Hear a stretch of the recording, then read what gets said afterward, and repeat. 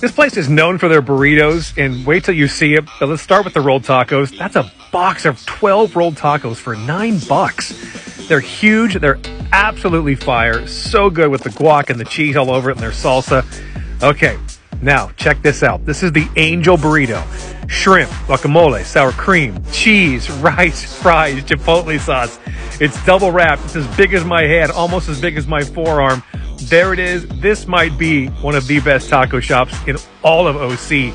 Maybe SoCal. Uh oh, them's fighting words. Cali Tacos. This is not the one in orange on Chapman.